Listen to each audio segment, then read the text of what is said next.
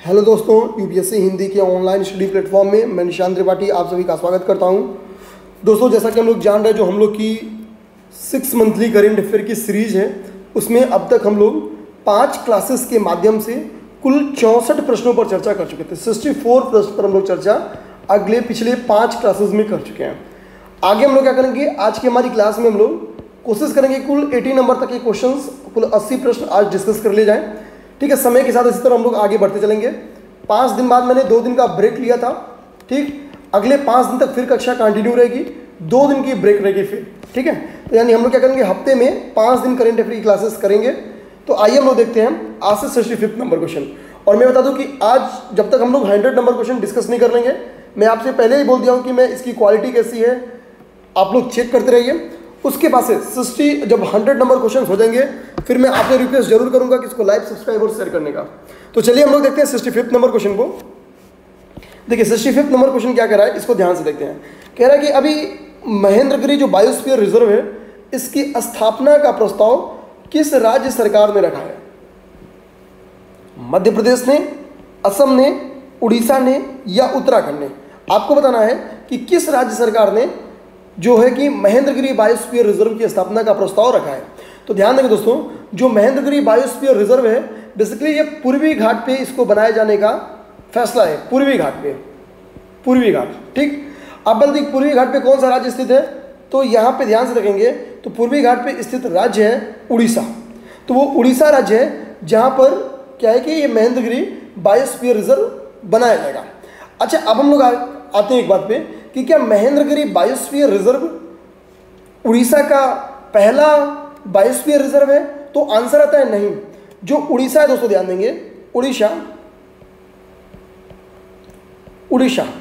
उड़ीसा का जो पहला बायोस्फीयर रिज़र्व है, ध्यान देंगे, जो उड़ीसा का पहला बायोस्फीयर रिज़र्व है। पहला बायोस्फीयर रिज़र्व। पहला बायो, यहाँ पे इसे डेस कर देते हैं, स्फीयर रिज़र्व है। उसका नाम क्या है? तो उड़ीसा के पहले बायोस्फीयर रिज़र्व का नाम है। ध्यान देंगे आप लोग, इसके पहले बायोस्फीयर का रिज़र्व का नाम है सिमलीपाल सिमलीपाल इस तरह से पहले क्वेश्चन का आंसर मिल गया और हम लोग ध्यान दे दिए कि इसका जो दूसरा एक भाग था सिमलीपाल उसको भी हम लोग ध्यान से देख लिए। उम्मीद करते हैं पहला नंबर क्वेश्चन आप लोग को समझ में आया होगा। आइए हम लोग देखते हैं next number question sixty six आप लोग ध्यान दीजिए दोस्तों कि करेंट अफेयर का जो प्रोग्राम ये चल रहा है, इसका नोट्स ज़रूर बनाइए। क्योंकि देखिए नोट्स जब तक आप लोग नहीं बनाएँगे, तब तक क्या ना कि क्वेश्चन से जुड़ाव महसूस नहीं होगा। नोट्स बनाइए क्वेश्चन से जुड़ाव महसूस करिए। मैं कोशिश करूँगा कि मैक्सिमम क्वेश्चन आपकी, जो करेंट अफेयर की सीरीज़ मैं लेके आ रहा हूँ, वहाँ से टकराने की। मैक्सिमम नंबर ऑफ़ क्वेश्चन में टकराने की कोशिश करूँगा। आप लोगों को करना बस ये है कि इसकी एक प्रॉपर नोट्स तैयार करनी है नोट्स ज़रूर बनाना है, इस चीज़ का ध्यान रखना है। ठीक? और आप लोग जीएस में थोड़ी कमांड बनाइए। अगर आप लोग जीएस में जीएस की जो 125 क्वेश्चंस बन रहे हैं अगर आप लोग यहाँ से 75 क्वेश्चन सही कर दिए तो मैं करेंट का प्रयास करूँगा कि 25 क्वेश्चन जो आ रहे हैं वो सही करा दूँ। मैं पूरी कोशिश करूँगा 25 सही कराने की। आपको ये 75 टू 80 क्वेश्चन यहाँ पे ज़रूर सही करना है। इसके लिए आप टेस्ट का मदद लीजिए, कि आप लोग जो पढ़ रहे हैं उसको पढ़िए ही पढ़िए। साथ ही साथ आप लोग टेस्ट का मदद जो है वो ज़रूर लीजिए। क्योंकि जब तक आप लोग अपना परीक्षण नहीं करेंगे, कोई फ़ायदा नहीं होगा जीएस पढ़ने का। जीएस क्योंकि पेपर फैक्चुअली है तो भूलता खूब आप एग्ज़ाम में महसूस भी करते होंगे। आप समझ नहीं पाते होंगे कि ए बी में बी सी में अक्सर दो ऑप्शन में डाउट आ जाते हैं और होता क्या ना, वो ऑप्शन गलत ही हो जाता है। तो आप लोग को करना क्या है कि बस कोशिश करें कि जो तैयारी है, आप टेस्ट सीरीज़ के माध्यम से उसको चेक करते रहिए। जो लोग यूपीएससी हिंदी का टेस्ट सीरीज़ ज्वाइन करना चाहते हैं, वो लोग हमको जो हमारा कॉन्टैक्ट नंबर है, अभी हम लोग उसको डिस्क्रिप्शन बॉक्स में दे भी देंगे। साथ ही साथ क्या करिए आप लोग nine seven triple one four three eight five zero इस पर व्हाट्सएप या टेलीग्राम करिएगा। ध्यान दीजिए, आप लोग कॉल करते हैं मतलब मैं देखता हूँ कि रोज़ मेरे पास सात आठ कॉल पड़े रहते हैं जिसको मैं उठा नहीं पाता हूँ। आप सीधे समझ सकते हैं, यार मेरे पास और भी बहुत सारे काम हैं। मैं व्हाट्सएप या टेलीग्राम कर देंगे तो मैं इसका जवाब दे दूँगा, एकदम जवाब दे दूँगा। लेकिन जब आप कॉल कर देना तो थोड़ा सा चांस होता है कि यार कि थोड़ा सा छूट जाए चीज़ें। तो आप लोगों को करना यह है, क्या है कि सीधे हमको व्हाट्सएप या टेलीग्राम करना है। आप सीधे बोले टेस्ट सीरीज़ के लिए जो भी जानकारी वो मैं दे दूँगा। आते हैं सिक्सटी सिक्स नंबर क्वेश्चन जो कि वेरी इंपॉर्टेंट क्वेश्चन है। आइए सिक्सटी सिक्स नंबर क्वेश्चन देखते हैं सिक्सटी सिक्स नंबर क्वेश्चन कह रहा है कि रेतले जल विद्युत परियोजना, ध्यान देंगे रेतले जल विद्युत परियोजना किसकी परियोजना? अच्छा ये किसकी परियोजना है? ठीक, पहला कह रहा है जम्मू और Kashmir state power development corporation की परियोजना है। ठीक, ये संयुक्त परियोजना लिखा गया है, परियोजना है। सेकेंड बात, नेशनल हाइड्रोलिक पावर कॉरपोरेशन यानी एनएचपीसी की परियोजना है। तो पहला कह रहा है जम्मू और Kashmir state power development corporation की परियोजना है। सेकंड कह रहा है एनएचपीसी की है।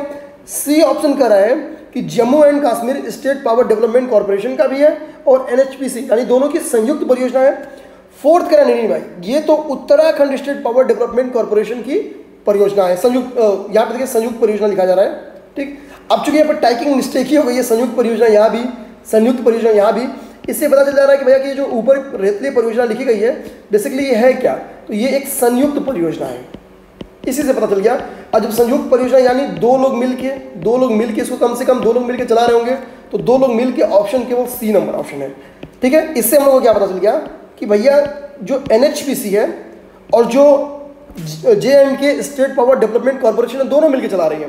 ध्यान देंगे दोस्तों, जो इसमें इसमें ध्यान देना है, जो इसमें एन है इसकी जो पार्टिसिपेशन है वो इक्यावन परसेंट है। इस चीज़ को ध्यान देंगे। और जो जे एंड के की है, सौ में से माइनस करेंगे तो उनचास परसेंट बची। तो ये बेसिक तथ्य थे। उम्मीद करते आप लोग को समझ में आएँगे। ये वेरी इंपॉर्टेंट क्वेश्चन है। हंड्रेड परसेंट चांस से क्वेश्चन आएगा। हंड्रेड परसेंट चांस से क्वेश्चन आएगा। कि जानवरों के लिए दुनिया का पहली कोविड नाइन्टीन का टीका किस देश ने पंजीकृत किया है? ठीक है? किस देश ने पंजीकृत किया है? ये वेरी इंपॉर्टेंट क्वेश्चन बन सकता है। और आप लोग के बीच में क्वेश्चन बन के आ सकता है। तो आप, अब देखना है इसका आंसर देख लेना कि कौन सा सही है। ठीक?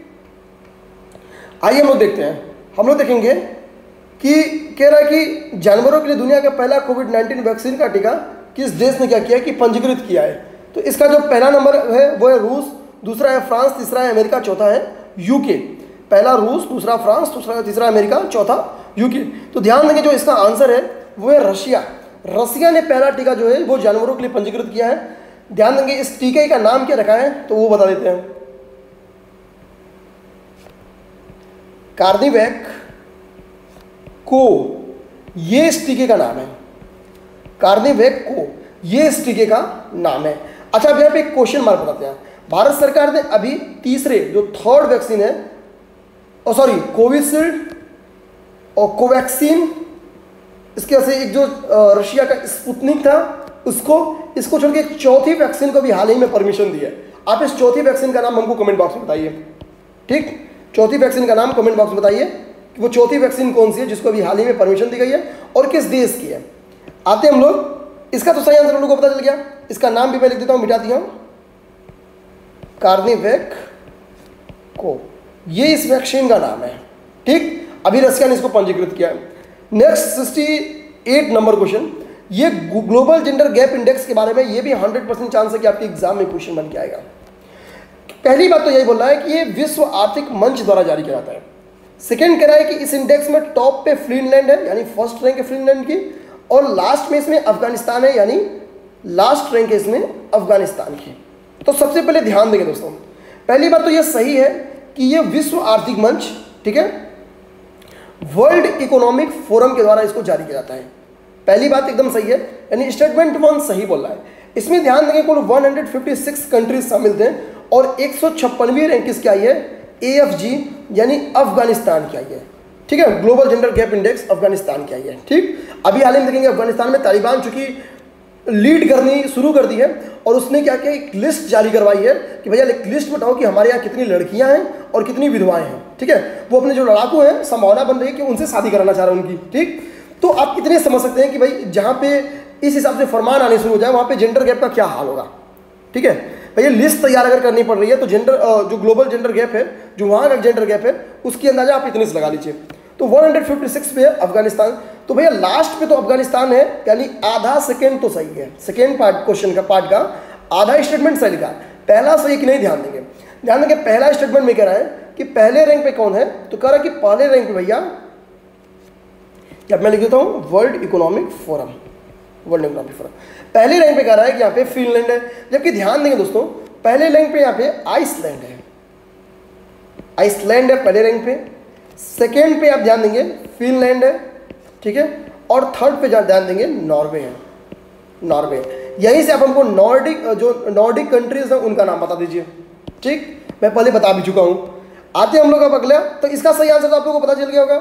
सेकंड स्टेटमेंट गलत दिया है, पहला सही है तो केवल ए सही है इसमें। सिक्सटी नाइन्थ नंबर क्वेश्चन को देखते हैं। कह रहा है कि समाज में वंचित वर्गों के लिए डोनेट अ वैक्सीन फंड जुटाने की पहल किसने की ज़ाहिर बात है कि हाल के दिनों में भारत की भी इकोनॉमी क्या है? डाउन चल रही है। फिर भी गवर्नमेंट ने क्या किया है? वैक्सीनेशन को फ्री करने की कोशिश की है। और देखेंगे मैक्सिमम लोग को वैक्सीनेशन फ्री लगी रहा है। अब वही जिसके पास पैसा है भैया, जिनको लग रहा है वो प्राइवेट में जा सकते हैं, टीका लगा सकते हैं तो वो लाइन में लगना पसंद नहीं कर रहे हैं, वो जाके प्राइवेट में टीका लगवा रहा है। और बहुत अच्छी बात है। देखिए, जिनके पास क्षमता है, मैं खुद भी बोलूँगा, भैया, वो लोग प्राइवेट से जाके वैक्सीन लगवाओ। एकदम, ठीक है? देखिए अपोजिशन यहाँ पे खूब विरोध कर रहा भैया, कि यहाँ पे प्राइवेट अस्पतालों से वसूली की जा रही है गवर्नमेंट के द्वारा एकदम बेवकूफ़ी वाला ये मतलब समझे ना अपोजिशन की यही सबसे बड़ी खराबी होती है कि वो पक्ष और विपक्ष को जनता के सामने सही नहीं रखते हैं। वो उस विपक्ष को रखते हैं जिसमें उनको उनका पक्ष होता है। ठीक? जैसे फॉर एग्ज़ाम्पल मैं मांगू देखिए सोसाइटी में इस चीज़ को ध्यान दीजिएगा, मैं दो मिनट का टाइम मैं बकवास नहीं करूँगा, थोड़ा सा मैं समझाने की कोशिश करूँगा। सोसाइटी में दो तरह के लोग इंडियन सोसाइटी को हम लोग ले लें इंडियन सोसाइटी में हमारी अभी ऑक्सफैम की रिपोर्ट क्या कहती है? आर्थिक असमानता खूब जाते हैं। नाइन्टी परसेंट लोग हमारे यहाँ के भैया अमीर हैं, नौ लोग गरीब हैं, ठीक है? मैं, अब ध्यान दीजिए। अच्छा टॉप अमीरों की sorry sorry ninety one percent अमीर लिख दिया। नाइन्टी वन परसेंट गरीब है नाइन परसेंट अमीर है। अच्छा बात आती है कि वैक्सीन लगवाने की क्षमता में तो वैक्सीन लगवाने की क्षमता की अगर हम लोग बात कर लें तो अगर वर्तमान की इकोनॉमी को देखते हुए तो 50 परसेंट तो ऐसे लोग मेरा मानना है ही, जो वैक्सीन अपने पैसे के दम पे लगवा सकते हैं। खासतौर पे जो गवर्नमेंट सर्विस में है, जो अच्छे खासे प्राइवेट सर्विस में है, या खुद का जो स्वरोजगार स्थापित किया है, और 50 परसेंट क्या है, ऐसे हैं, जो रोजही के हैं, रोजही के मतलब मनरेगा में काम करते हैं, दिहाड़ी पे कहीं मजदूरी करते हैं, ये लोग वैक्सीन के लिए नहीं जा पाएँगे। भैया, ये लोग कहाँ से हज़ार रुपये चौदह सौ रुपये की वैक्सीन लगवा पाएँगे? अब क्या है ना कि गवर्नमेंट का काम क्या है? गवर्नमेंट का काम क्या है? Social justice. गवर्नमेंट का काम क्या है? Social justice. सामाजिक तीन प्रकार की ना हम प्रस्तावना में पढ़ते भी हैं। तो सोशल जस्टिस का काम क्या है? सोशल जस्टिस के लिए क्या होगा कि सोशल जस्टिस की पॉलिसीज़ गवर्नमेंट को लेकर आना पड़ेगा। पॉलिसी, ताकि समाज में फेयर रहे, इक्वालिटी रहे। समाज में फेयर कब रहेगा? कि भैया जिसके पास क्षमता है एक हज़ार रुपये दे के वैक्सीन लगवाने का, वो जाके लगवाओ। लगवाने का फ़ायदा क्या होगा? कि गवर्नमेंट को यहाँ से टैक्स मिलेगा टैक्स मिलेगी, कम से कम गवर्नमेंट को घाटा नहीं होगा, क्योंकि ध्यान दीजिएगा। आप लोग मैक्सिमम फोकस किसको कर रहे हैं? कोविशील्ड लगवाने का, स्पुतनिक लगवाने का। भैया, वो लोग खरीदे हैं, वो फ्री में नहीं मिला है। ऐसे में जब हम लोग को खरीद के मिला है तो ज़ाहिर सी बात है, वो एक तो क्या है, हम लोग खरीद रहे हैं तो रुपए में नहीं खरीद रहे हैं। रुपए में नहीं खरीद रहे, हम लोग किसमें खरीद रहे हैं? डॉलर में खरीद रहे हैं। यानी हम लोग का जो एफडीआई है, सॉरी, जो हम लोग का रिज़र्व और डॉलर है हमारे जो फॉरेन करेंसी, हमारी रिज़र्व करेंसी है उसमें से हमारी खाली होनी शुरू हो रही है। तो यानी हमारे पास फॉरेन करेंसी भी कम पड़ेगी। आने वाले ड्यूरेशन में उसका व्यापार भी हम लोग देखेंगे निगेटिव इंपैक्ट पड़ेगा। तो फॉरेन करेंसी अगर हमारी कम होगी तो वही तो हमारे लिए चैलेंज है। ऐसे में अगर कुछ लोग जाके प्राइवेट से वैक्सीन लगवा लेंगे तो गवर्नमेंट के पास क्या है? गवर्नमेंट में कुछ इनकम आ जाएगी। फिर गवर्नमेंट इसी पैसों को यहाँ पे शेयर कर देगी। इसका फ़ायदा है। इसका फ़ायदा क्या आप लोग समझ गए? कि गवर्नमेंट अभी अपनी इकोनॉमी की भी हाल जानते हैं। इकोनॉमी क्या है कि जो बीच के दिनों में लाखों करोड़ के फंड दिए गए हैं, ठीक है सोशल सोशल सेक्टर में। अभी रिसेंट में देखेंगे थर्ड वेव को चुनौती देखने के पहले ही कई हज़ारों करोड़ की फंड दी गई है। तो ये फंड कहाँ से आ रहा है? ये टैक्सेस से तो ही आ रहा है जो हम लोग टैक्स पेमेंट ही नहीं करेंगे। इकोनॉमिक एक्टिविटी पिछले दो साल से बंद चल रही है, डेढ़ साल से। इकोनॉमिक एक्टिविटी बन रही है तो गवर्नमेंट को एकदम टैक्स मिलना बंद हो जाएगा। तो होगा क्या? ऐसे में जब गवर्नमेंट ट्रेड करेगी वो निगेटिव ट्रेड करेगी। मतलब व्यापार घाटा होगा अगर तो समझ सकते इकोनॉमी की क्या बैंड बचेगी।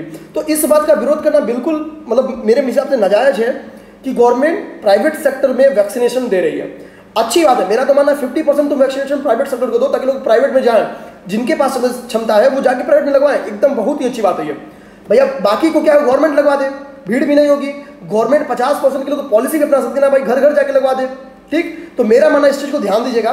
कभी आपसे पक्ष और विपक्ष इस मुद्दे पे पूछे तो आप गवर्नमेंट के फेवर में जाएँगे और मेरा मानना ये बहुत सही निर्णय है कि प्राइवेट सेक्टर में वैक्सीनेशन को देना, ठीक? अब यहाँ पे बात आती है कि वैक्सीनेशन के लिए डोनेट करना पड़ेगा। तो ज़ाहिर बात है कि डोनेट और वैक्सीनेशन फंड की जो ये हुआ था बात, ये आईआईएम बेंगलुरु की पहले आईआईएम बेंगलुरु की पहले इस चीज़ को ध्यान देंगे। आते हैं लोग सत्तर नंबर क्वेश्चन पे। सत्तर नंबर क्वेश्चन कह रहा है, आठवां वैश्विक नाइट्रोजन सम्मेलन कहाँ आयोजित किया गया? सेवेंटी नंबर क्वेश्चन, सत्तर नंबर क्वेश्चन है कि आठवां वैक्सीन नाइट्रोजन पहल कहाँ स्थापित किया गया? तो ध्यान देंगे कि जो हमारा आठवां वैक्सीन नाइट्रोजन पहल है, ध्यान देना है दोस्तों, जो हमारा आठवां वैक्सीन नाइट्रोजन पहल है, ये बर्लिन में आयोजित किया गया है, ठीक है? बर्लिन में, इस चीज़ को ध्यान देंगे, बर्लिन में आयोजित किया गया है। अब बर्लिन कहाँ पे है? तो जर्मनी का एक शहर है, जर्मनी का एक शहर है, ठीक? आते हैं हम लोग 71 नंबर क्वेश्चन पे। 71 नंबर क्वेश्चन फिर रेतले जल विद्युत परियोजना पे एक्चुअली 100 परसेंट चांस है कि पेपर में बन के क्वेश्चन है तो मैं इसका दूसरा डायमेंशन भी रख लिया हूँ। यहाँ पे देखिए ऑप्शन लिखना मैं भूल गया हूँ, मैं अभी बता देता हूँ। यहाँ पे आप लिख लीजिए, एक, दो और तीन लिख लीजिए। यहाँ पे दो और तीन लिख लीजिए, ठीक है? यहाँ पे दो और तीन लिख लीजिए, यहाँ पे एक और तीन लिख लीजिए, और यहाँ पे पहले पे केवल एक लिख लीजिए। अब ध्यान देंगे दोस्तों इसमें आप सेकेंड ऑप्शन को फोकस करिए। सेकेंड ऑप्शन को जब आप फोकस करते तो लिख रहा है कि यह परियोजना 750 मेगावाट की है। यही बात यहाँ पे गलत लिखी गई है, क्योंकि ये परियोजना 1850 की है, ठीक है? तो सेकेंड स्टेटमेंट इसका गलत हो जाएगा, और बाकी दोनों स्टेटमेंट सही है। तो एक और तीन देखिए यहाँ पे है, यानी ऑप्शन नंबर हम लोग बी सही मान लेंगे। ठीक है, यहाँ पे ऑप्शन में देना भूल गया था, इस चीज़ को ध्यान देंगे। 72 नंबर क्वेश्चन कह रहा कि महिला जागरूकता अभियान जो सम्मान है, ये किस राज्य सरकार द्वारा आरंभ किया गया है? तो ध्यान देंगे अभी एमपी गवर्नमेंट ने क्या है कि इस अभियान को स्टार्ट किया है एमपी गवर्नमेंट ने। सॉरी एमपी गवर्नमेंट ने। एमपी गवर्नमेंट, आपको पता है कि महिलाओं के साथ जो अपराध हाल के दिनों में क्या है? एनसीआरबी की रिपोर्ट बोलती है।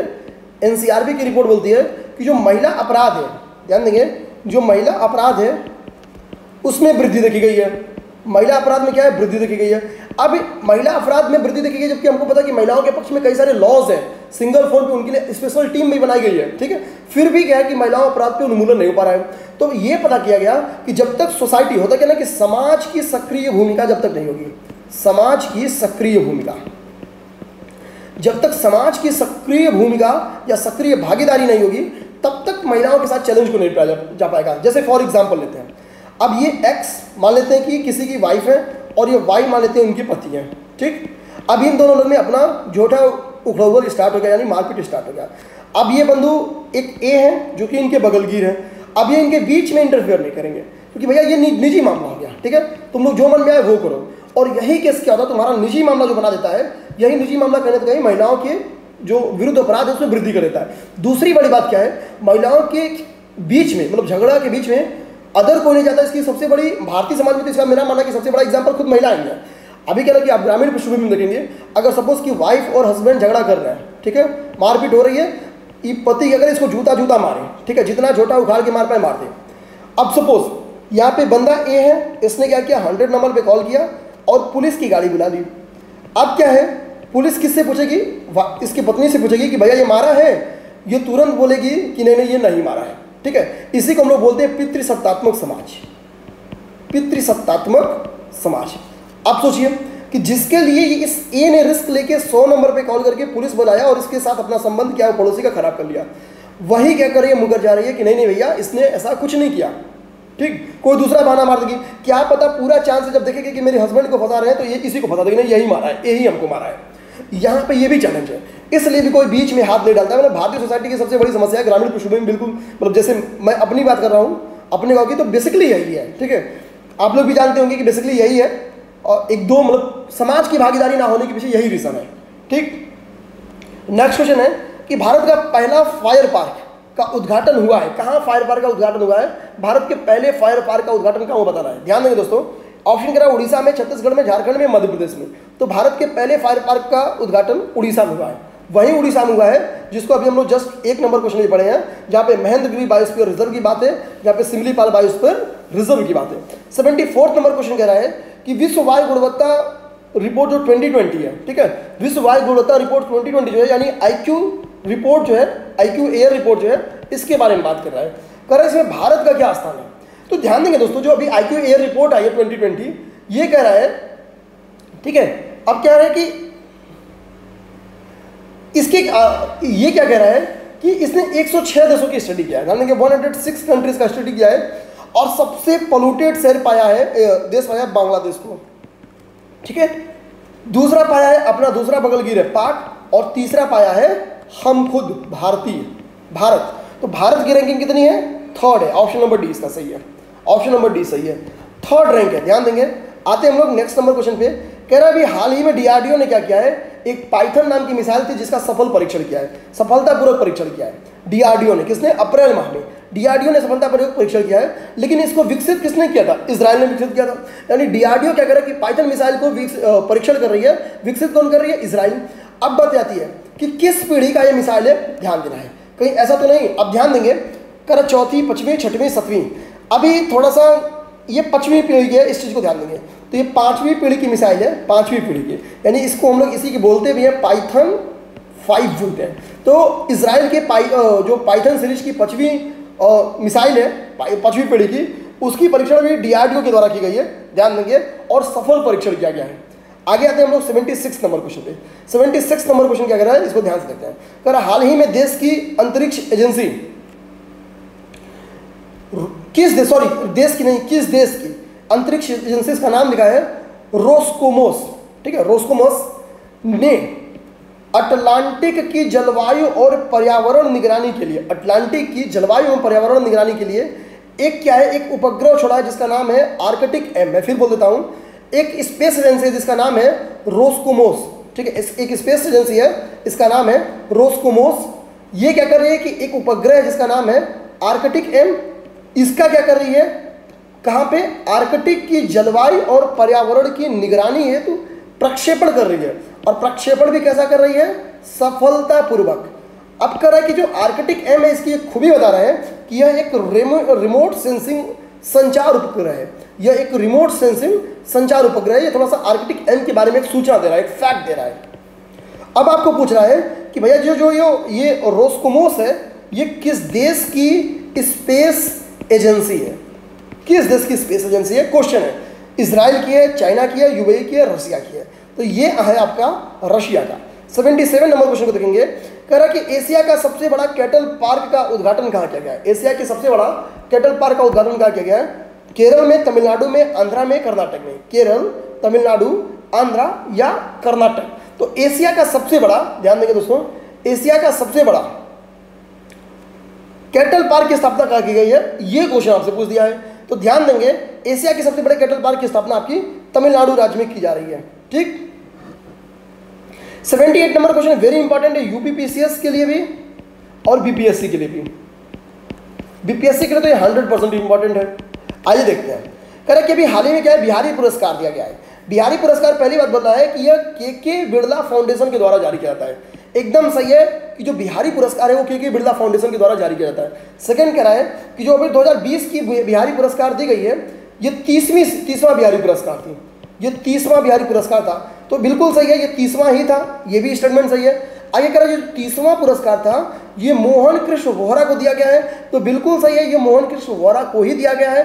कह रहा है, ये मोहन कृष्ण वोहरा को अगली यहाँ पे दोनों क्या है? दिया है कि तास्लीम, तास्लिमा संघर्ष और साहित्य के लिए, उनकी कृति है, इसलिए दिया गया है। तो बिल्कुल सही है, ये भी। तो यहाँ पे फैक्ट कितने हैं? के के बिरला फाउंडेशन, दो हज़ार तीसवा, मोहन कृष्ण वोहरा और इनकी जो पुस्तक है, इसका।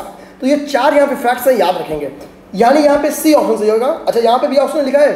तो यहाँ पे ऑप्शन नंबर ए लिखना है, केवल एक, बी पे लिखना है, केवल दो, सी पे लिखना है बॉथ दोनों, डी में लिखना है, इनमें से कोई नहीं। नन ऑफ़ द एवव ठीक है? तो इंग्लिश इंग्लिश गलत होगा, देख लेना, ठीक है? मतलब इंग्लिश हम लोग सीखने थोड़ी बैठे हैं। सेवेंटी नाइन नंबर क्वेश्चन और आज का लास्ट नंबर क्वेश्चन होगा। कह रहा है कि विश्व थायराइड दिवस चौबीस मई को है। विश्व औद्योगिक औद्योगिक जैव विविधता दिवस तेईस मई को है। प्रवासी पक्षी दिवस 8 मई को है और बौद्धिक संपदा दिवस 26 अप्रैल को है। बताना इनमें से कौन सा गलत लिखा है? यानी तीन इसमें सही लिखा है एक ही गलत लिखा है। ध्यान देना दोस्तों, जो अंतर्राष्ट्रीय जैव विविधता दिवस मनाई जाती है, ये तेईस मई को नाम मना के एक मई पहले बाईस मई को मनाई जाती है। बाईस मई को आपको विश्व जैव विविधता दिवस मनाई जाती है। बाकी सही है, जो थायराइड दिवस है, चौबीस मई को मनाई जाती है। प्रवासी पक्षी दिवस आठ मई को मनाई जाती है। और जो बौद्धिक संपदा दिवस है वो 26 अप्रैल को आ जाती है। तो उम्मीद करते एक बार क्विक रिवीजन कर देते हैं दो मिनट में और आप लोग को चीज़ें समझ में आएँगी। तो जो महेंद्रगिरी बायोस्फीयर रिज़र्व है, इसकी स्थापना उड़ीसा में की जा रही है। इसका जो पहला बायोस्फीयर रिज़र्व था, उसका नाम था सिमलीपाल सेकंड जो रेतले जल विद्युत परियोजना है, ये बेसिकली चिनाब नदी पर बनाई जा रही है। एक चीज़ मैं बता दूँ, यहाँ पे मैं नहीं बताया था, चिनाब नदी बनाई जा रही है। और रेतले जल विद्युत परियोजना जो है, इस पर एक क्या है, एक हाल ही में क्या है कि पाकिस्तान ने इसमें मैं नहीं बताया पाकिस्तान ने यहाँ पे आपत्ति जारी की है। हालाँकि 2017 में ही आपसे परमिशन मिल चुकी है, ठीक है? यूएन के द्वारा 2017 में ही परमिशन मिल चुकी है, इसको स्थापित करने की। यहाँ पे ध्यान देंगे जो इक्यावन परसेंट कंट्रीब्यूशन है, ठीक है, वो एनएचपीसी का है और उनचास परसेंट खुद जे के डेवलपमेंट कॉर्पोरेशन का है, ठीक है। आगे कि कोविड नाइन्टीन का भी क्या है कि जानवरों के लिए टीका विकसित किया गया, पंजीकृत किया गया है, जिसका नाम है कॉर्निवैक को रोसिया के द्वारा विकसित किया गया है। ग्लोबल जेंडर गैप इंडेक्स के बारे में अगला क्वेश्चन था, जो कि विश्व आर्थिक मंच के द्वारा जारी किया जाता है। इस इंडेक्स में लास्ट रैंक पे अफ़गानिस्तान पे है, एक छप्पनवीं इसकी रैंक है, क्योंकि कुल एक सौ छप्पन देश को ही काउंट किया गया है। पहली रैंक पे आइसलैंड है, दूसरी रैंक पे फिनलैंड है, तीसरे पे नॉर्वे है। नेक्स्ट जो क्वेश्चन था डोनेट अ वैक्सीन ठीक है, ये पहल किसकी है? तो यह आई आई एम बेंगलुरु की है। नेक्स्ट क्वेश्चन हमारा था कि आठवां वैश्विक नाइट्रोजन सम्मेलन कहाँ मनाया गया तो बर्लिन में मनाया गया है। रदत जल विद्युत परियोजना के बारे में जो नेक्स्ट था, यहाँ पे एक ही द्वंद्व की बात थी 850 बाकी ध्यान देंगे यहाँ पे, अगस्त 2017 में विश्व बैंक द्वारा बनाया गया। इसको मैंने बता ही दिया है, सही है। चीनात भी बनाया जा रहा है, बिल्कुल सही है।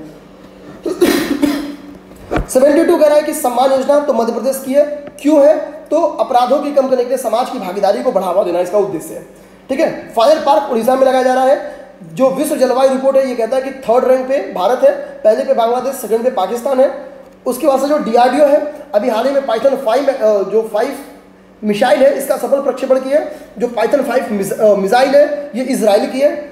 सेवेंटी सिक्स नंबर क्वेश्चन जो रोस्कोस रोस्कोसमोस, ठीक है, रोस्कोसमस मोस है, ये बेसिकली स्पेस एजेंसी है, किसकी? रसिया की है। अभी इसने क्या है कि आर्कटिक एम का एक उपग्रह है, जिसका सफलतापूर्वक प्रक्षेपण किया है।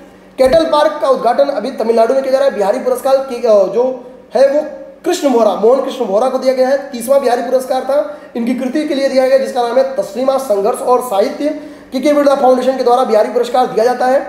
थायराइड, जो विश्व थायराइड दिवस है, चौबीस मई को मनाया जाता है। जो विश्व अंतर्राष्ट्रीय जैव विविधता दिवस है, वो बाईस मई को मनाया जाता है। जो विश्व प्रवासी पक्षी दिवस है, वो आठ मई को मनाया जाता है और जो विश्व बौद्धिक संपदा दिवस है, वो छब्बीस अप्रैल को मनाया जाता है। तो इस तरह से ये पूरी समृद्धि थी। उम्मीद करते हैं आप लोग को समझ में आएगा तो अगर चीज़ें समझ में आई हो तो कमेंट बॉक्स में ज़रूर बताना कि चीज़ें अच्छी लगी, ताकि हम लोग नेक्स्ट अच्छे क्वेश्चन को सेलेक्ट करें। धन्यवाद दोस्तों।